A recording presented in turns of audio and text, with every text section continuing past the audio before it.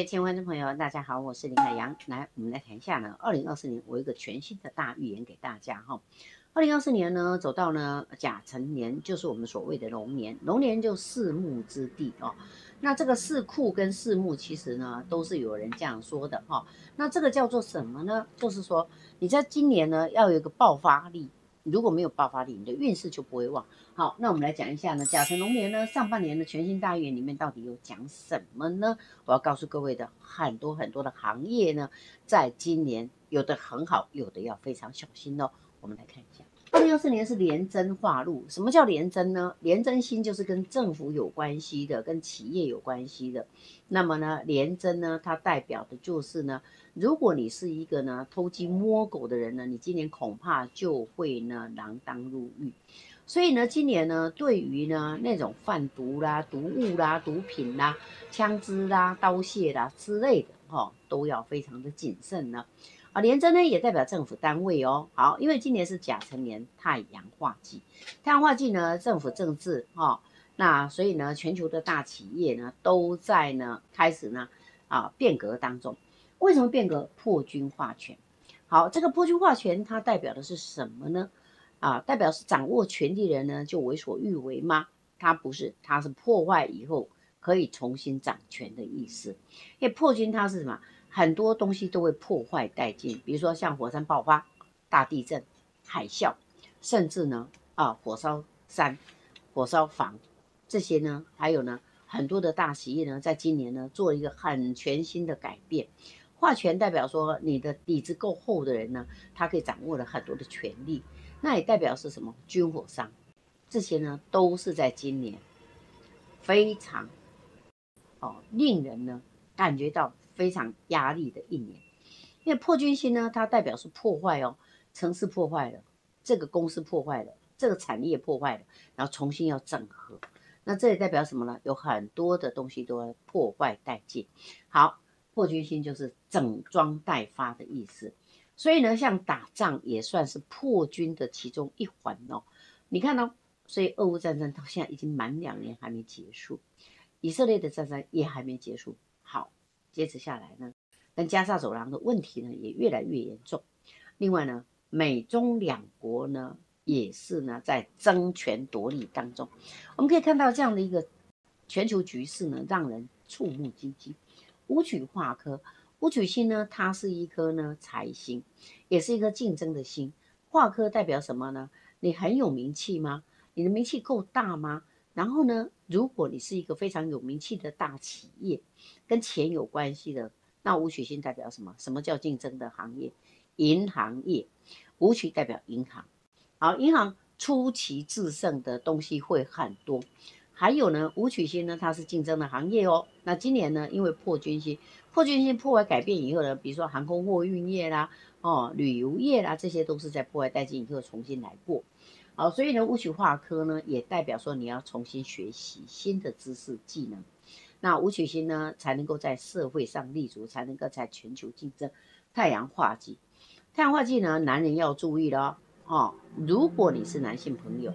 可能呢，你的工作呢，在这个时候呢，产生了很多的麻烦呢、纠纷了，甚至呢，有很多的问题存在了。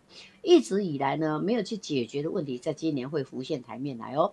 那太阳化忌的太阳底下看到的都没有什么特别新鲜事，那就是今年整个流年上面呢，哈，最重要的一个一环。那太阳星也代表是男人，所以男人跟男人竞争代表什么呢？看美国的选举，很多现在有。几十几个国家在选举，那么这个选举当中的太阳化是大家都无所不用其极，就是暗黑行动，暗黑一二、暗黑二、暗黑三，通通都来到。那就是说我一定要争取到我能够掌握的权利，我要当上这个总统，所以呢就暗黑别的哦政党啦、人呐，其实每一个国家都一样的哈。那这个暗黑行动会越来越多，那暗杀行动也会出现哦。那也可能承受不了压力的人开始生大病，哦，所以要特别注意这些问题。那也可能呢，在整个事业上面，在整个国家里面呢，哦，会有很多的男人出现了很大的纠纷跟麻烦。好，国际局势当中呢，哦，最重要的，我们先讲一下，现在走到九子离火运，这九子离火运呢是离卦，离卦代表什么？利，美丽的丽，代表呢中中年女人。好，中年女人的话啊，什么叫中年女人？你看起来像中年女人都算，甚至你到六十几岁了，你看起来就像中年女人，你还是精力十足。那现在女人的精力都十足啊，所以中年女人呢崛起的二十。所以你可以看到很多政治人物、企业老板、CEO 都是女性，尤其是中年女性特。几岁算中年女性？三十五岁以上算中年女性。好，到六十五岁以下、七十岁左右都算中年女性。我们说啊，老年人从七十才开始算，啊，人生七十才开始哦。所以你还老吗？没有。如果你还在职场上面工作的话，你都算中年女性。好，那么火的行业会特别好，因为离火，离火的话，火的行业会特别好。什么叫火的行业呢？火火红红的行业，看到没有？今年龙年，大家呢张灯结彩哦，元宵节灯会，对不对？好，那所以呢，很多东西呢都开始产生新的哦，你从来没有想象过的，比如说汽车行业。它也跟火有关，飞机行业跟火有关，运输行业跟火有关。好，石化石油业跟火有关，食用油业跟火有关，因为要炒菜啊，对不对？好，那跟火有关的行业呢，太多了。那这个火的行业呢，有好有坏，但大部分都是哦，很多就是忽然间爆红了，一下又没了。好，网络事业跟火有关，为什么要电脑？好，电线电缆，这个都跟火有关。好。那地下水、地下油管哦，天上的网路，我们现在不是有很多网路吗？啊，密密麻麻架设网路都跟火有关。好，那另外的话呢，像是餐饮业、餐饮业、饭店业都跟火有关。好，航空货运跟火有关，运输业、海运也跟油有关，因为它必须要用很多油，所以它虽然是海运，但是它也用油。那 AI 新科技这些都是呢跟火有关的行业，太空总署。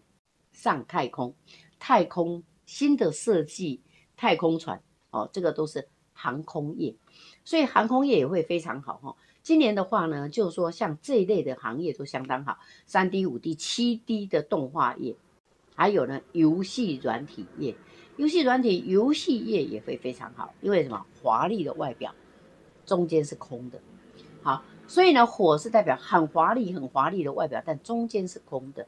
那所以呢，我刚才讲过，包括政府的航空业，哦，研究航空业的人也会非常好。所以呢，有航空新技术，这些都算哦。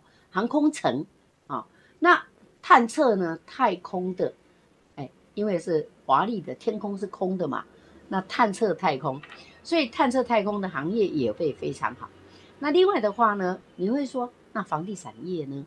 房地产业不会太好，因为它属土，哦，那科技业都是属火，科技业都属火，科技业有些就断了，倒了，但是有新的行业起来，所以为什么呢？这两年呢，看到没有，中国的房地产业一直往下走下坡，很多人呢就是腰斩都在卖楼，尤其是那些大企业，整栋整栋转移。因为八百更运，土崩瓦解，土石流，火山爆发，哦，跟火山有关的行业也会，哦，比如探测火山，哦，这种都是跟火有关的行业。好，火灾，哦，消防，哦，消防也是跟火有关哦。好，所以消防业也非常好哦。所以你看了这么多的行业，你做对了吗？那么二零二四年呢，在这些行业里面都是火火红红。好，那我讲到一个科技业，股市。买空卖空，股市也会很奇奇特的。好，你买卖就是买空卖空啊，因为你到底买了些什么，卖了些什么，对不对？是每天都在嘎这些呢？哦，所以股市也蛮火红的。只是呢，大家在赚快钱的同时，也很多人就破财了。好，那所以呢，全球正处于呢就是火运蜕变期，火运代表我们的世界都在急剧的变化。哦，国际局势呢更是诡谲多变，美中关系、俄乌战争、以色列之战、南北韩一触即发、红海沉船危机，哦，那美国、日本、欧洲海域呢核废水大污染，令人惊心动魄。我刚才讲过一个事情，跟核子电力有关的，也都跟火有关。好，所以呢，美国呢，哦，美国现在的海域呢，可能会探测到什么呢？就是跟日本的核废水一样的东西。还有呢，欧洲的海域，我相信呢，只要是核电国家，他们倒到海里面的东西，都是危害人类。核子，核子，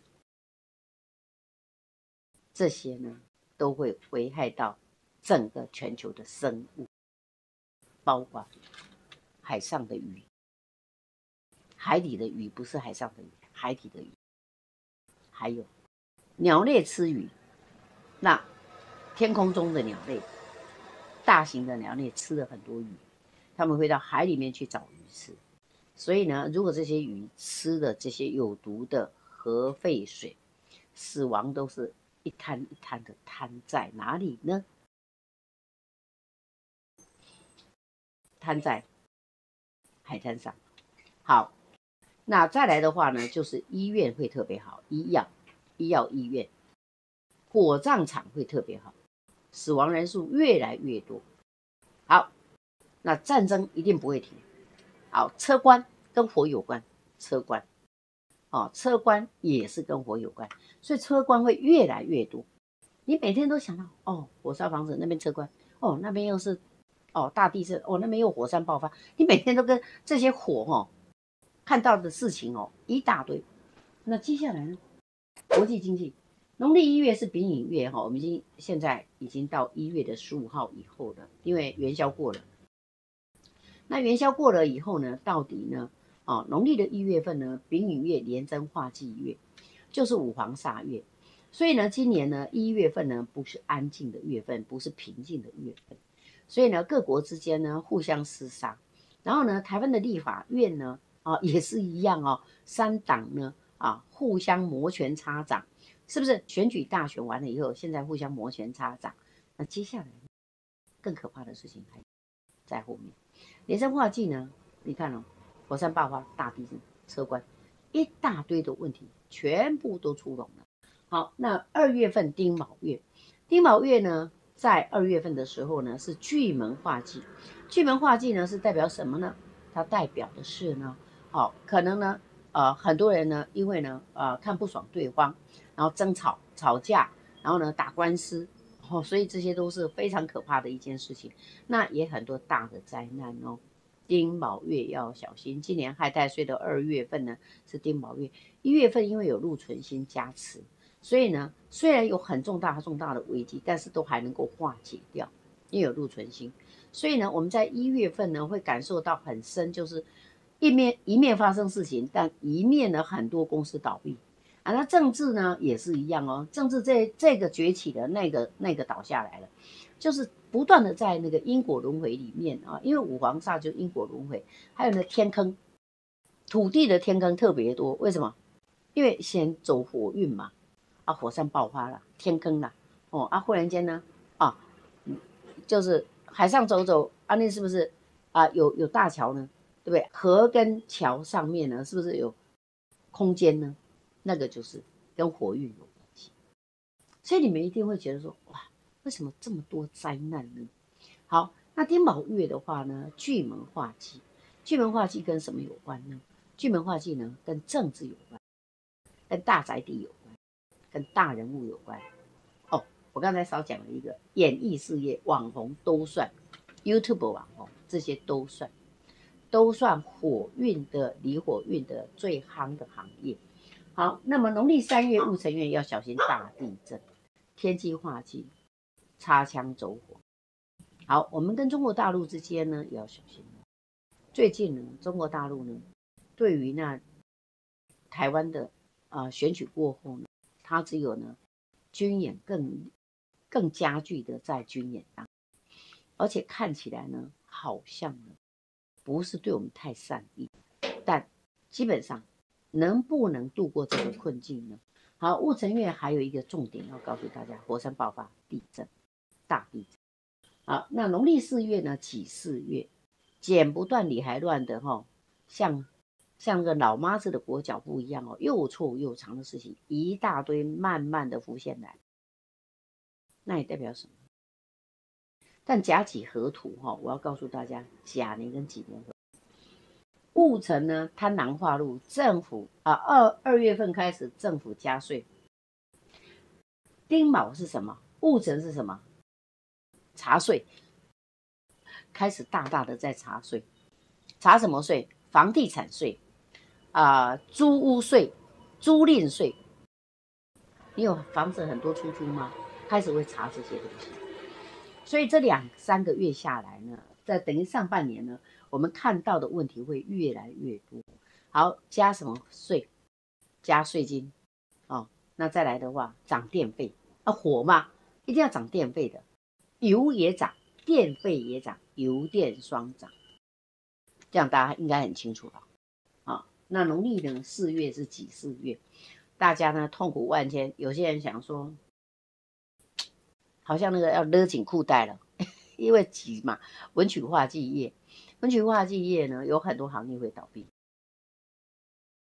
好，什么行业会倒闭？像是很多的文化事业都不太好，不太好。那现在整个的运势上来看，农历四月呢？还不至于发生大事，但是呢，剪不断理还乱的事情一大堆，好像过九曲桥，这样慢慢慢慢，大家都要哈很小心的哈，在跟日子竞争，哦，怎么样过一个好日子，这个是非常重要。好，庚午月的话呢，天同化忌月，天同星呢，它跟水有关，跟海域有关，跟孩子有关。所以呢，现在呢，在庚月的时候呢，在庚五月的时候呢，跟孩子的学习有关，那就是农历的五月，就国历的六月啦。接着下来，比如说补习班啦，哦，要不要去补习啦？有没有钱补习啦？哦，诸如此类的事情会很多。天同星它代表的是教育事业，跟孩子有关的教育事业，在这个月开始呢，会有很大的震撼。那这些震撼就是什么？呃，招不到学生啊。关门大吉啊！学校、大学、中学、私立学校关门大吉，还会更多。农历的五月开始，就国历六月要放暑假了，要放暑假了，然后接着要招生了，所以呢，教育事业事业开始怎么样？惨兮兮。好，辛未月的话是什么？文昌化忌月。文昌化忌月呢，大家应该很清楚了。文化事业很难做，比如说你要出一本书，卖的并不好，因为网络资讯太多啊。那文昌业不好的时候呢，跟学校教育有关系，也是教育业最悲惨的一个月。所以呢，从农历的五月到六月是教育事业最惨的一个月，补习班也没有什么学生。我已经讲得很清楚，所以希望在我们的上半年。未来的几个月当中，希望大家好好思考一下，你要投入什么样的行业呢？你在做什么样的行业呢？我刚才讲的一些行业，大概有二三十个行业是火火红红的行业，但有很多的行业是不好的行。好，那今年呢，会爆引爆的事情还会很多，因为呢，天干甲木克地支的土，所以房地产你想要好非常困难。虽然有些地方会增值。啊，比如说台积电进驻的地方，它会增值，但问题是有多少增值空间？不会像以前 double 一次涨一倍、涨一倍半、涨两倍，不可能。所以你有钱吗？你想买房地产吗？现在政府开始会查税哦。你把房子出租吗？你的税金可能克更多。所以呢，你划得来吗？划不来。这就是在二零二四年甲辰年太阳化忌。不要说哈，没有新鲜事，天天都有新鲜事。来，接下来，台湾政局，五二零是新旧总统交替时，台湾正处于全球动荡危机之中。赖清德的八字是否能够稳定台湾的政局？立法院三党是否继续大乱斗？四十八年次的赖清德是什么文曲化忌？文曲化忌来看的话呢，他的八字里面他勉勉强选上了总统。但基本上，我们是期待他有更好的作为，对台湾的经济啊各方面呢，哦，两岸关系啊都有更好的作为。但是呢，中国大陆看起来呢，对我们的赖清德总统呢，未来的这个总统好像呢敌意更深哦。好，那美国呢，现在也是呢很害怕，说他万一万一啦，哦，我没有说他一定会啦，那可能啦。那如果赖清德先生呢，哦，这个总统未来呢，他走的是这个偏锋的话呢，是不是就引爆呢亚太地区的战争？大家真的很害怕。现在连美国，美国所有的五角大厦里面的大官没有一个不说台湾是一个最危险的区域。所以呢，我们要来看一下赖清德。赖清德八字里面呢，如果在了甲辰年，甲辰年基本上来讲话，他是生子辰哈，没有合到他。但是今年他的命格里面呢，合到了那个属兔的，属兔是害太岁，就是龙年是太岁嘛？那害太岁。那他的仆役宫又不好，仆役宫是太岁正冲，所以呢，他在整合上面会非常的困难。至于立法院呢，想整合国民党，我觉得困难重重。那民众党就更不用讲了。好，那现在呢，我们可以看到呢，好，民众党党主席的柯文哲去 long stay 了。好，那到底呢，这 long stay 会对民众党有什么加分吗？我想这两年呢，二零二六年还有很多的选举，我想这是。这一两年，二零二四到二零二五这中间这两年，应该都是政党呢，哦，壁垒分明的，哦，然后呢，争权夺利、争地盘的一个态势还会继续发酵。我刚才讲过，太阳化忌的年呢，是跟政府单位有关系哦，哦，那廉贞又是今年的廉贞化禄呢，跟政府单位又有关系，那也代表政治人物的问题，哦，还是会浮上台面。到底呢？哪些人才是真正的能够带领台湾更好的一个状况呢？好，我想呢，立法院呢，现在呢，韩国瑜他现在身段也放得更柔软一点。那我们来看立法院会不会大乱斗？我觉得乱斗是势在必然，没有无药可解，没有解药，没有什么解药。哦，那当然，如果韩国瑜今年的运势是比较强盛的，那韩国瑜比较强盛的同时呢？赖清德反而是比较弱势的，那这种情况之下呢，此消彼长，是不是会带动台湾的啊，在立法院里面的一些呢提案，会让台湾人民更好？肯定是会的。好，因为有人把关了嘛。来，接下来台湾的经济外资炒股危机，和真正的经济不能同步而行哈，一脚在烂泥中拖行，小股民要更惨，所以呢要小心套牢。房地产包租公大产。炒房、炒地皮将被课重税，无法可。这就是今年的上半年了。你们想在哪里赚大钱？